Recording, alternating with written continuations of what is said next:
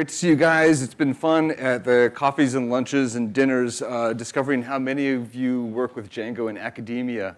Um, it's, you know, it, it, it's something that I sort of came into by default in academia, but in other roles have had to champion and push for. So um, seeing how many of you have had success getting Django to the enterprise is pretty exciting. So I work um, at the California College of Arts, uh, currently working on a big portal system, but before I could build that, I had to build a big identity management system, and I'll get to what that means exactly in a minute. The slides are at this URL if you want to track them down later. Um, so, uh, California, oh yeah, so quick note first. Um, so when I gave this talk at SF Python Meetup, uh, one of the pieces of feedback I got was that there was too much code walkthrough and so, you know, I was going to eliminate a lot of code. And then other people said, well, yeah, but when you find the slides on Google six months from now, you want the code in there. Good point. So what I've done is moved most of the code samples into the end of the slideshow, so they're there for future Google searches. Um, and I'll just sort of touch on those uh, briefly here. So California College of Arts, uh, two campuses, Oakland and San Francisco, relatively small campus, about uh, 2,200 students, um, hundreds of faculty and staff, and um, as, as a lot of you are probably familiar with, um, IT systems spread across decades and dozens and dozens of systems that um, all need to talk to each other, some of them modern, some of them legacy, some of them with APIs, some with no APIs, but somehow you've got to glue it all together.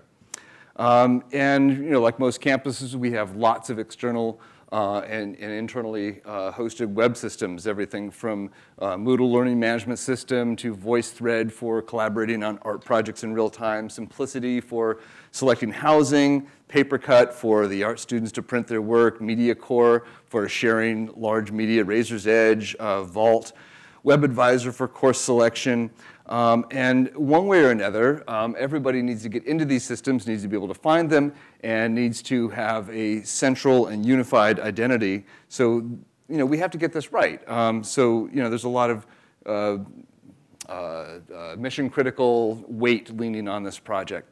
So, um, you know, it all comes down to LDAP in the end. Uh, we had a traditional LDAP server, which we recently migrated to Fedora 389. We're also a Google Apps school, so everybody has you know, Google Mail and Docs and Calendar. And then there's the SIS, the Student Information System, which is uh, currently in Datatel uh, from Colleague, which is a very old and cranky legacy system, um, which I found a really elegant way to talk to. And then recently the introduction of Workday, which is a human resources system and will later replace our student information system. So when people log into all of these external systems, you never want to go through the process of, of making them register or sign up for an account. Um, instead, we hook up to something called CAS, this uh, Centralized Authentication Service Common on Campuses. CAS in turn talks to LDAP. So, um, you know, as soon as you try to log into Moodle or a WordPress site or whatever, you're taken straight off to CAS. CAS checks LDAP. LDAP says you are who you say you are, sends a token back. So, you know, these systems are set up like whoever LDAP says is okay, go ahead and create an internal account for them here on, on WordPress or Moodle or, or whatever it is. Um, so the system that we needed to build uh, needed to, by the way, is that familiar to anybody? Little Daniel Johnston, just around the block is this mural on the corner of a restaurant called Thai. How are you? Uh, so this system we needed to build would do things like activate new student accounts. So you've been accepted by the campus, um, you're given an ID. Now you need to create this account that's going to follow you throughout your campus experience. Um, we also have you know, newly hired faculty and staff who are coming in through Workday. They need to do the same thing. Um, uh, staff, people need to change their own passwords. Staffers need to be able to change passwords for people. Um, your contractors need accounts. We need to set LDAP entitlement, so so-and-so can use the big fancy printer. Uh, we have to set Google organizational units because uh, we're using the, the Google uh, admin API as well. Uh, the super users need to be able to edit raw LDAP fields, enabling, disabling accounts, email aliases, delegated accounts in Google, LDAP groups, all kinds of crazy stuff. And it all had to be done through this one central place. So the, the experience of this for a student is that they can change the password or they can activate an account. And the experience of it for a logged in user is they can change a known password. But the experience for help desk is a whole bunch of powerful uh, tools and utilities, and for super users, even more of them. Um, now, because when you authenticate through CAS, it's going to create a shadow account in that system, that's kind of the, the CAS standard, um, you need to be mindful that whatever usernames that are going to be created in LDAP need to conform to the lowest common denominator of systems. So while Google may allow a 48 character username, um, the old DataTel system is not going to allow a username that low. So you need to shrink it down. And same with the diacritical characters and foreign characters. So you need to sort of survey all of your campus systems and say, what are the lowest common denominators? Because that's what we're going to allow into, um, into LDAP. Uh, password's not an issue because those are all handled in LDAP. You're still logging in through CAS, and, uh, and we're not going to store a usable password in that system anyway. So uh, just a quick workflow of the process of, of activation. So this is the Django-based system over here. Uh, so they're hired in Workday. When, you, when they, they come in, they're going to verify their account against Workday. It says you're verified.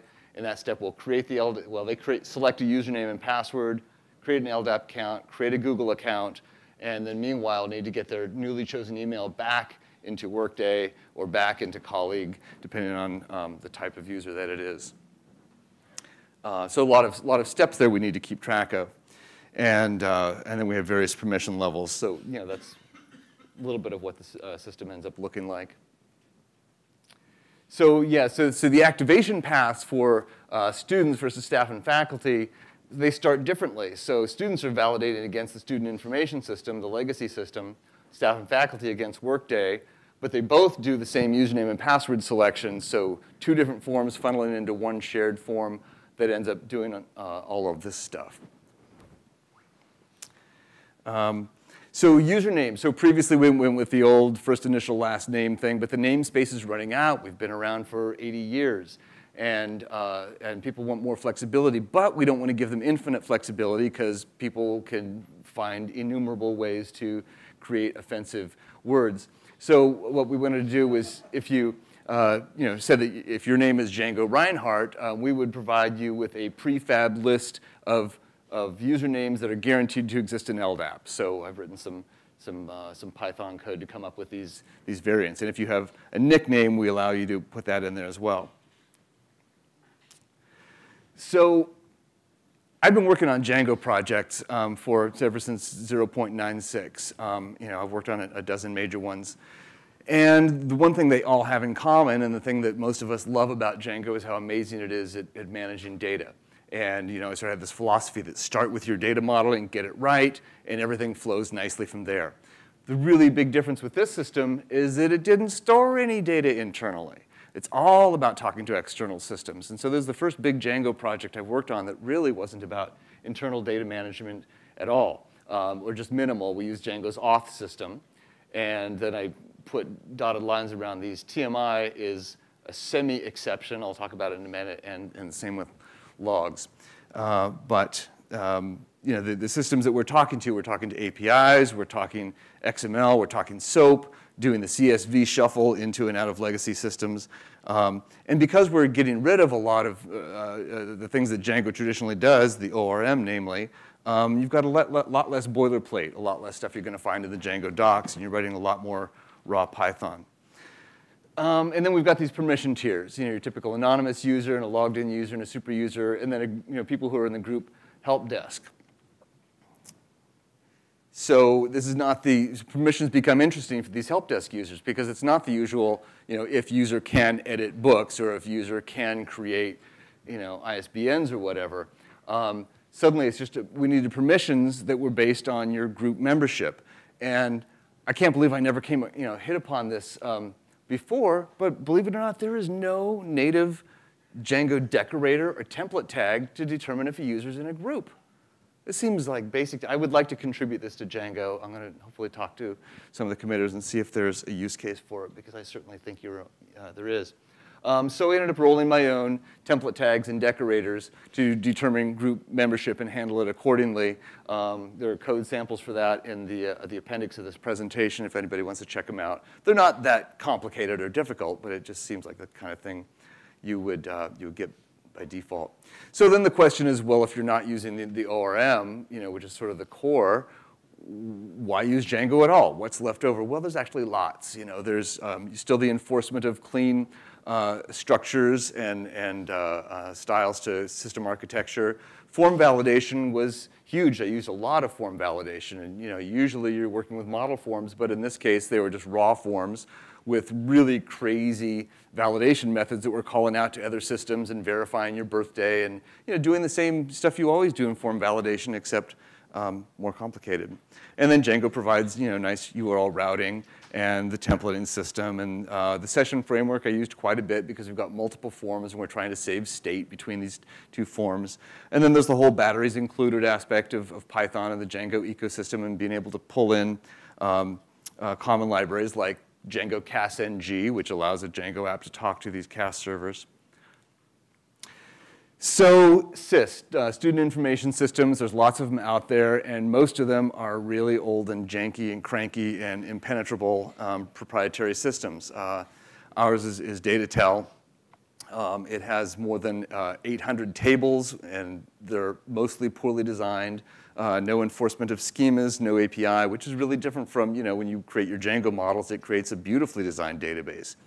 Um, so I really, really didn't want to um, you know, do everything with, with CSV shuffles. I wanted to find a way to interact with this legacy system through the ORM. Um, I had one ace in the hole, which is a system called TMI, which stood up a MySQL layer between the student information system. It was read-only. So I couldn't write to it, but I could at least get data out of it. So um, what we ended up doing is, uh, uh, this is you know, your typical multiple database approach. You can see I've got my local Postgres and another one that's defined on some other host um, as, a, as a MySQL uh, server elsewhere. And then there's this wonderful command, inspectdb. A lot of you may have seen it, but it lets you point your Django instance at an external database and do its best to introspect it and figure out what its Django's models would be. It's not perfect, um, but it works only on the default database, so you have to temporarily switch your, your default database, run that management command. And in my case, it was huge. I mean, literally go get some coffee while this thing runs. And I just got this you know, multi-megabyte text dump. Um, and a lot of that is secure, sensitive information, which I do not want to risk exposing in my app. So you, know, you don't have to take the whole thing. I was able to just copy and paste bits of that out uh, from the dump file and bring it into my app not putting the dump file in version control um, because we just never want to risk that, that information getting out. And you know, once I've just copied and pasted just the basics that I need back in, um, I'm able to you know, bring that into my app. And a couple things to note about this. Um, when you're writing your models, you can actually specify the column that it maps to. So you know, these are the, you know, its internal names, but I can use a nice friendly lowercase name. And then in the meta, managed equals false. So this tells Django, that's a read-only database I'm talking to. I'm not going to try and migrate it. I'm not going to try and do anything fancy with it. I'm just aware of it. And then you know what person it maps to. You can, you can write your own model methods and your own strings on that, et cetera. So um, you know, this query doesn't look like very much, but holy crap, I'm able to do ORM queries against this legacy uh, student information system, and that was pretty exciting, and that opened up all kinds of doors for us. Uh, so, progress, that's great, except next time I went to run my tests, they crashed and burned. Um, because this is a little bit of an outside use case for Django, and um, it doesn't really know what to do when you're talking to read-only databases, because when you run tests, it wants to create a copy of each database on the same database server, and it doesn't have write access to do that. So it turned out to be a number of steps to get around this problem. Um, so first of all, you want to create a separate settings file for that'll be just invoked when, when you're running your tests. So when, when I run my tests, it's specifying the special test settings file. And in that, I created a separate list of test databases, which were similar to the original ones, except the remote one was specified as a local Postgres table. Um, and I had to also tell Django in the test runner um, that where I've previously defined all those, that external database as unmanaged, now treated as managed. Um, and so, so the result is that when I run the tests, it looks at that remote read-only MySQL database and instead tests it against a local Postgres copy. Um, I thought that was way too hard, and I wish that Django had helped me more with that. But um, the, uh, uh, in the appendix, you'll find an example of that sample test settings file that I used to get that all working. All right, LDAP. Um, I'm not going to go too deep into uh, you know, learning LDAP. Um, it's a pretty arcane language. We're spoiled by working with a Django ORM about how easy it is to read and write data and deal with relational data. Um, LDAP is not a relational database, and it's got a lot of fancy terminology. And there is a library called um, Python LDAP, which I'll come back to in a second, uh, which simplifies query in LDAP, but um, it's, it's definitely not the, the ORM. So it turns out that those calls required quite a bit of code. And I didn't want to litter my views with that code because they weren't really view code. And what I really wanted to focus on was like my views handled the request response lifecycle for that user's web interaction, and the interaction with, uh, with, with LDAP would happen through an external library. So I ended up writing a pip installable library with all of my uh, code for creating users and managing groups and managing aliases, et cetera. And then with just one call in the Django view, I could, uh, I could get a, you know, a true or false from that. Um, so, and that became interesting actually with those functions, like create user, should that return true or false? Or should it return the new object or false? Or should it raise an exception or true? Um, and it was kind of case sensitive. I made different decisions in different parts of that.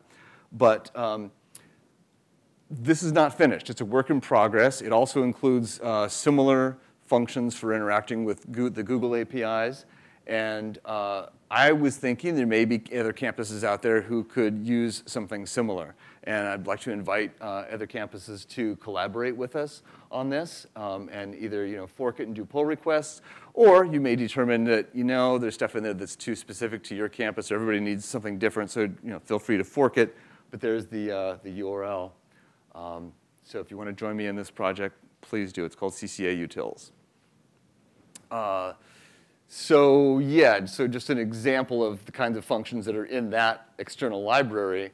Um, this is, you know, Python, this is speaking Python LDAP to take a dictionary of properties and create an LDAP user out of it.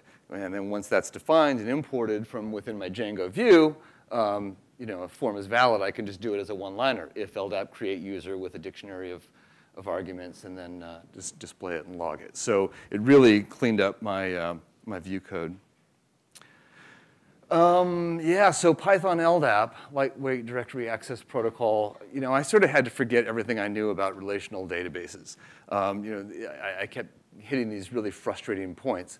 Um, and this is a great example of them is its inability to do reverse lookups. So, you know, given a, an LDAP group, I could really easily get a list of its users. But given an LDAP user, there's no way to get a list of the groups that they're in um, without going through all the groups and iterating them. There is apparently an LDAP plugin that the sysadmin could configure, but it, you know, it doesn't come out of the box, and our sysadmin wasn't, wasn't uh, uh, on that for this project. So Python LDAP provides uh, you know, some basic CRUD operations, which you know, this, makes, this looks very clean and easy, but um, you know, building these mod lists in particular, how to, how to construct those, took a lot of trial and error, and you'll see examples of those in the, um, the CCA utils. So we had this talk yesterday from Russell Keith-Magee about the new meta model uh, interfaces. And um, wouldn't it be awesome if somebody took that new capability uh, to, to wrap, what am I, did I miss a slide? Yeah, whatever. Um, if somebody took that, that capability and wrapped it um, so that we could use some, some ORM like syntax or the ORM itself to speak to an external LDAP system because this is seriously how I felt compared to how I was used to feeling. So um, I went into the project committed to Python 3. Um, you know, I, Greenfield's projects should be on Python 3. Uh, it turned out that Google's Python client library for the admin SDK wasn't yet Python 3 ready. And I was really dependent on that, so I was, I was stuck with Python 2. So um, uh, there is a totally separate LDAP library for Python 3. It's called LDAP 3. The syntax is different. It's not a drop-in replacement. Fortunately, Google did update their Python API client library to work with Python 3 right towards the end of my project. And I was out of time and couldn't, so I was frustrated, um, especially for reasons like this, because LDAP expects UTF-8 encodings everywhere, and so my code is just littered with these stupid dot encode things. Python 3, one of its you know, big deals is that everything is, is, is Unicode, and so that would have not been necessary, but maybe next summer, we'll see. Uh, so, you know, just example of conducting a simple LDAP search. Um, you know, the, the syntax is not too horrible. So um, one of the interesting things that came up was that you know, there are a lot of stakeholders in this project, a lot of people who are involved who want to keep track of what's going on. They want to know every action that's taken place in the system that modifies data in any other system in any way, shape, or form. And they want to know who committed that action and at what time and whether it was a success or a failure. Um, and you know, rather than just doing the typical logging, I thought, well, this is kind of a perfect opportunity to use the, the, Django, the Django admin. Um, so I built a simple, simple logging utility and a function to, to call it.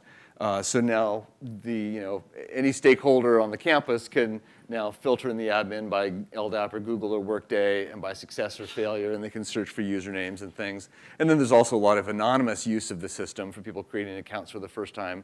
Uh, so in those cases, the user was anon, um, but we just trapped the username and logged it as well so we could still see what was going on. I loved how easy it was to write this code. It was just a really, a really simple model with a few fields and, uh, you know, and then this function, um, and then I can just call, you know, log action with a, a series of attributes, the username and, and the action message and the, the success failure start, uh, status, et cetera. And so all of that just happens automatically. I then also wrote a, uh, uh, a management command run by cron that would query for all log entries marked as failures in the past 24 hours, and I email that out to a bunch of stakeholders every day, or I don't, the system does. Um, and uh, we also have import scripts, so we're doing certain actions that are, you know, we're getting CSV imports and processing those on cron jobs, and it can also write to the same logging utility. Just a random note, if you need to create passwords, um, do not try and do it yourself and deal with all the nasty encryption library stuff. Uh, import hashlib, it's a pip install, and it's you know, really as simple as picking your encryption algorithm. And, uh, and then when you send it into LDAP, the, uh, the password fields are prefaced by the algorithm that's in use. It makes it so easy and you don't have to worry about it. So all that seems pretty clean, but um, that's not my desktop, by the way. Um, the, there are certain aspects of the system that no matter how much I tried to clean them up and simplify the, the views, and I know, you know, like anyone, don't want long, crazy functions, but in the case of activate user, you know, once that form is valid, a whole bunch of things have to happen in sequence, and I need to log all those things. So you've got different types of users starting the activation differently. We're saving state between the forms. Uh, some users have nicknames. We're displaying success and error messages differently to different types of users, you know, sysadmins versus um, end users uh, trying to build the data objects correctly so that LDAP will accept them, hashing the passwords correctly, adding the right user to the right groups and entitlements, uh, and then going out and creating a Google user in the same step. So, you know, I'm ashamed to say that I've got now a 200 line function in there, activate step two, but um, I can't figure out any way to make it shorter because it all has to happen at once. Okay, talking to Google. So there's the other piece of this, is that for every LDAP account, there needs to be a matching uh, Google uh, account in their, in their directory. So for this, you use uh, Google's admin SDK, aka the uh, directory API. They supply a, a Python client library. Um, every action has to be done by what's known as a service user. It's a special user you create in, in, in Google and give access to. And it also has to be referenced by a sub-user, which is a human on your team who is ultimately responsible for that change. So this would be like a sysadmin's email address or something. So these calls have to actually invoke both of them. And I got to learn about two-legged OAuth versus three-legged OAuth. So, so three-legged is the kind you're, you're used to seeing where, you know, Facebook would like to do such and such on your behalf, and is this okay with you? And you throw in a dialogue on the user's screen. In this case, you, we want our system to interact with Google transparently to the user. They never need to know about it. So that's two-legged OAuth. It's just between the two, uh, Google and our system, and the, and the user doesn't know anything about it. Um, so you know, basically the way that's set up, and I, I won't go into all the detail here, um, but you need to you know, look in their APIs, and every API call has what's called a scope.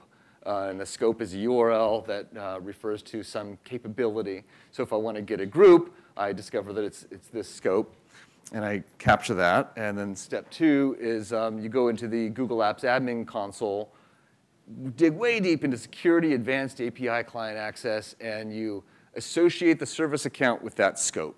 And that gives that, that service account permission to execute on that scope.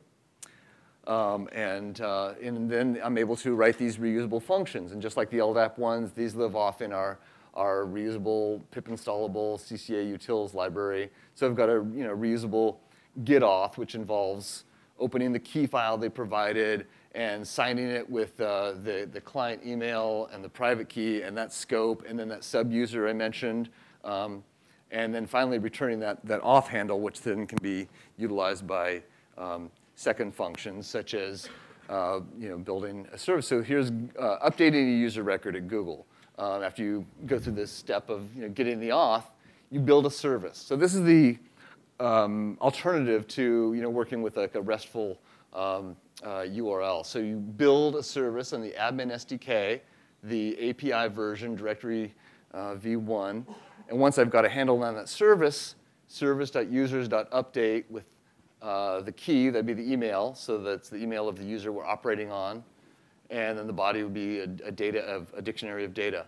And you can execute it all at once. So whether that's easier than using the REST API, I'm not sure, but once I got it down, it was pretty, pretty straightforward. Uh, and then, you know, once all that exists, then it becomes a one-liner in my view. So I'm not littering all my view code with all that stuff.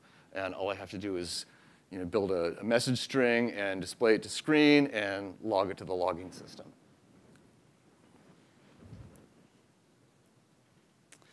So then we had this need to set up email delegates. So uh, the, you know, Google has this cool system where people can access another account without, without entering the password for it. So I can say, you know, Joe is a delegate for Mary, and now Joe can access Mary's email without, with his own password.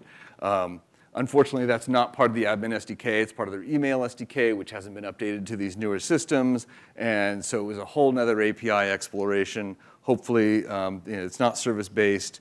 Uh, I have some sample code for that if anybody needs it. It returns XML instead of JSON, so now we're in a beautiful soup land.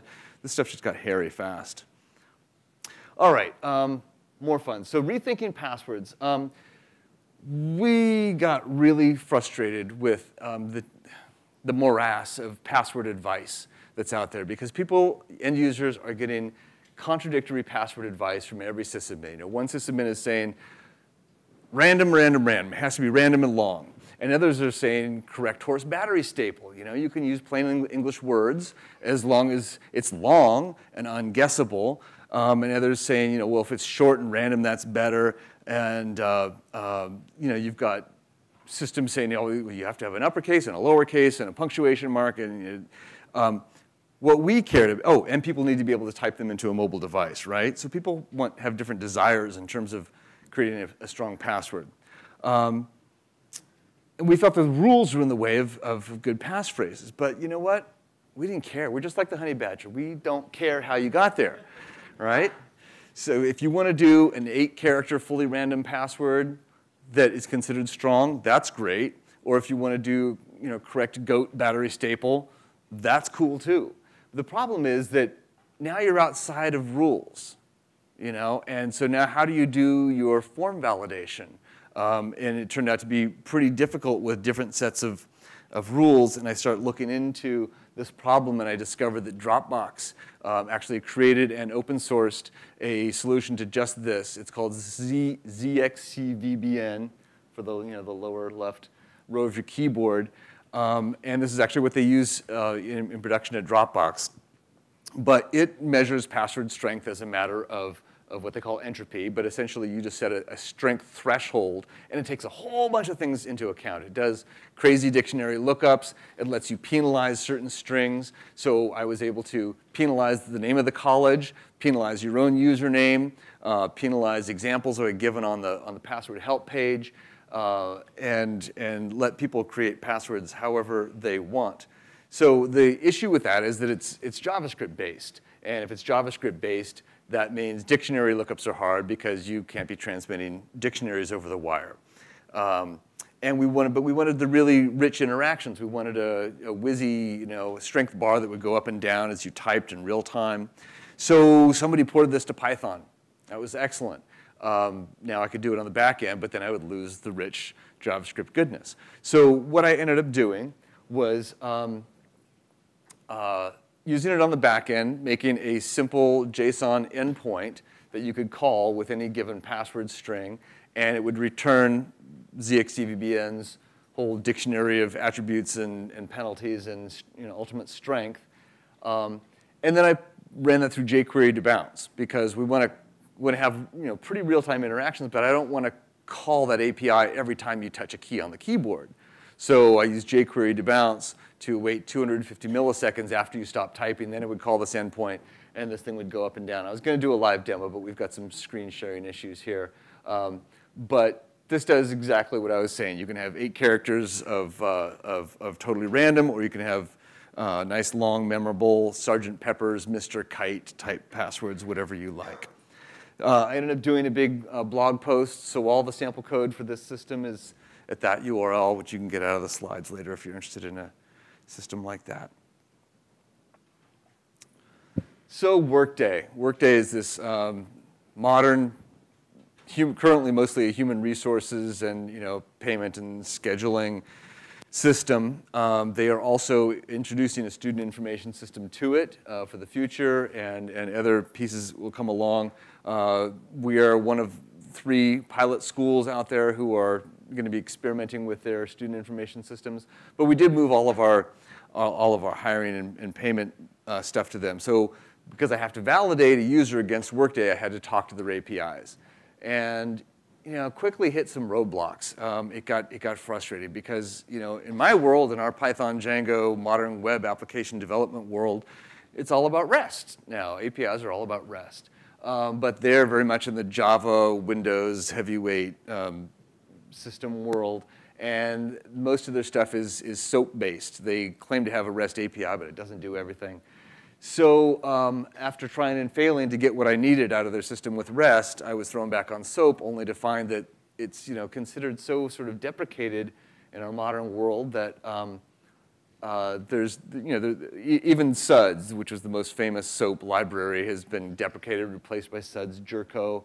And I couldn't find a single person online who was interacting with Workday and SOAP. So um, it took a fair bit of experimentation to get that working, but I did, and I wrote it up in a gist. Uh, if anybody is out there and needs to do this, uh, there's a link to how we ended up solving that. So that's what I've got for today. Um, and yeah, then the code samples are here if anybody wants to see them, or we can open it up for questions.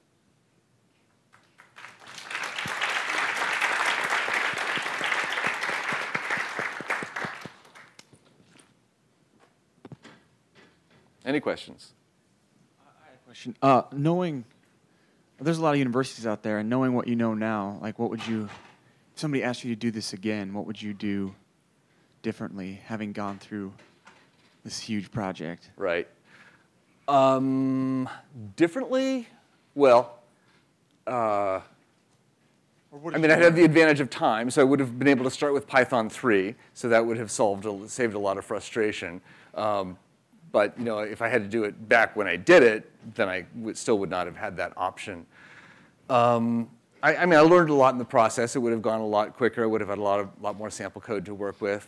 Uh, but uh, yeah, I think, I think my biggest mistake was not communicating enough with some of the legacy data teams about you know, certain ways we, they wanted to interact with the student information system. And could have, uh, yeah, so the communication is probably the biggest thing. Hi. Um, you talked about the least common denominator for when you're trying to design it, but what if that changes in the middle? Like you need to interact with another system, do you, which seems to have a max length of five for a username. Yeah. Contrived example, but I mean. Right. Um, I mean, it's a case-by-case -case basis. The one, the one issue that we hit there that we didn't, weren't able to anticipate was uh, these Canon copiers and their fax capability. So you know somebody could, could go and fax from a copier, and it turns out that they didn't like dots in usernames. Are you kidding me? Uh, or, in, email addresses, right? So we were able to update firmware on those to fix that.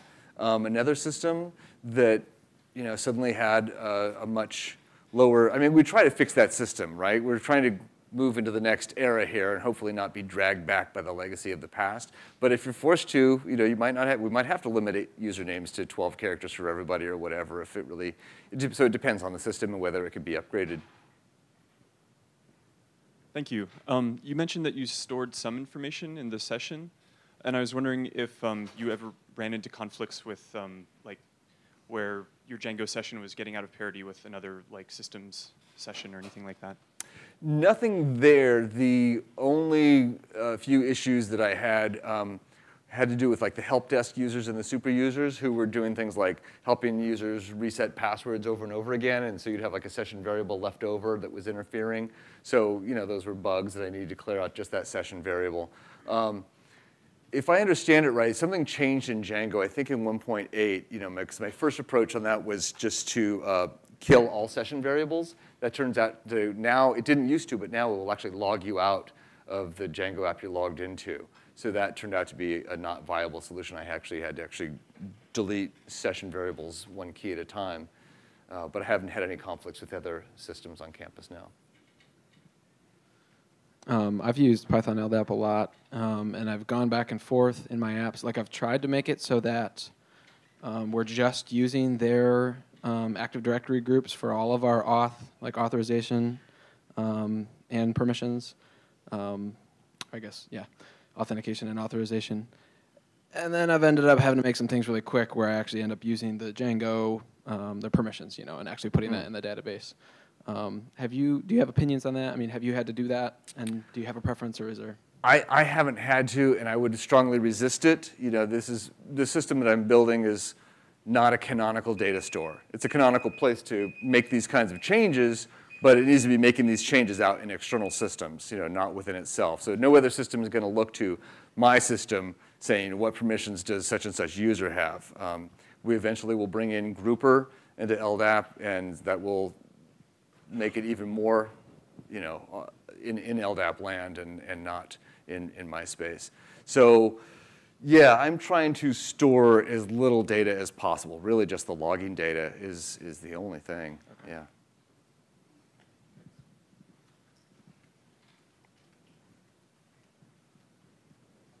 Okay, I've literally never done that. This is more of a comment than a question, but I'm really excited because I presented yesterday on Project Callisto, which is a um, system for sexual assault reporting in college campuses, and we're using your implementation of ZXCVBN, and it's really, it was super helpful. Uh, I love the walkthrough, and so yeah, it's really cool. That's awesome. Thank you. I'm very happy to hear that. Thank you. Yay.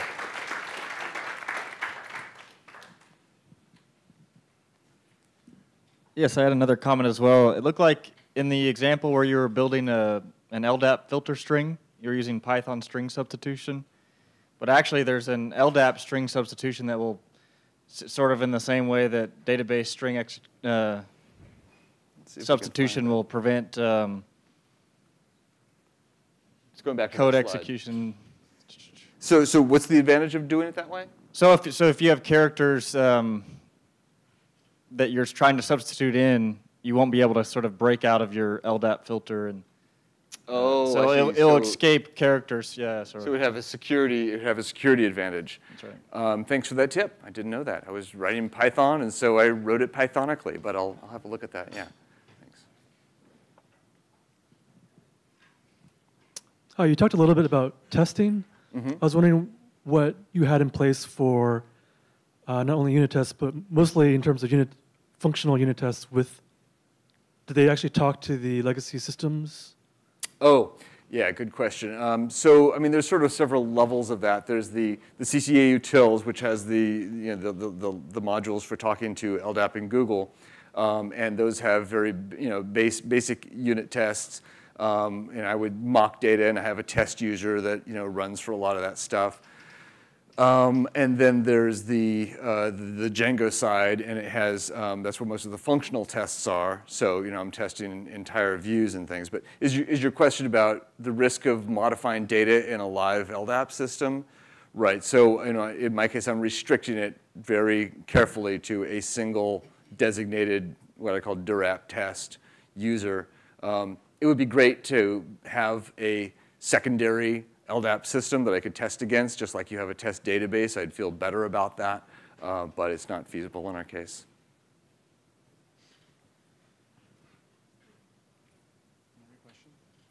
Any other questions?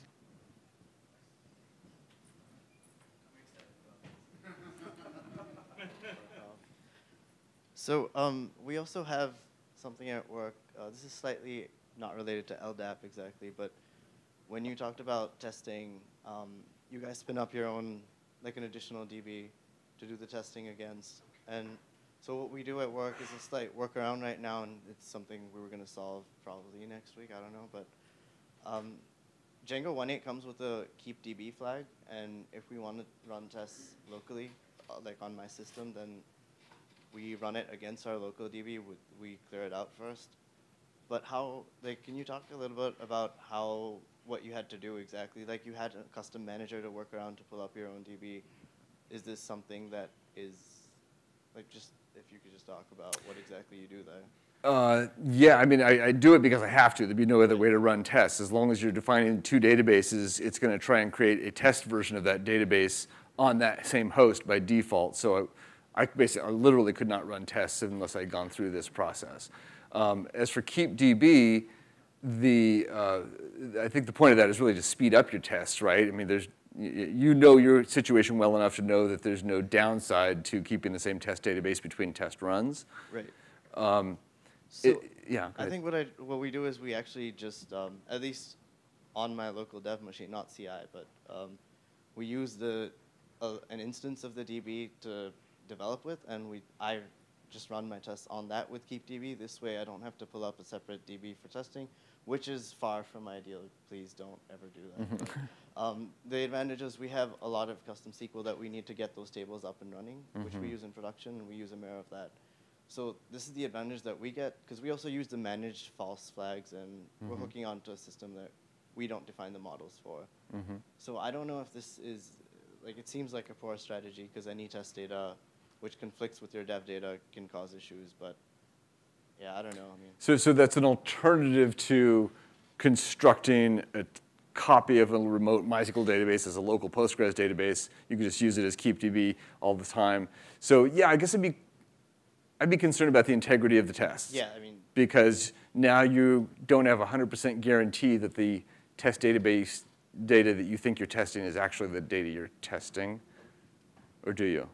I mean, I'm not sure. Maybe this is this seems like it's going to be a longer conversation if I'm allowed to. go Okay. Yeah, maybe you can So- show me some code. Yeah, but, sure. Yeah. Um, yeah, I did come across KeepDB as a, as a tip for speeding things up. But I came didn't have across it by writing it by mistake, and then I just realized that Django had one. So I'm There you go. all right. Okay. Awesome. Thank you. Thank you, thank you Scott. All right. Thanks.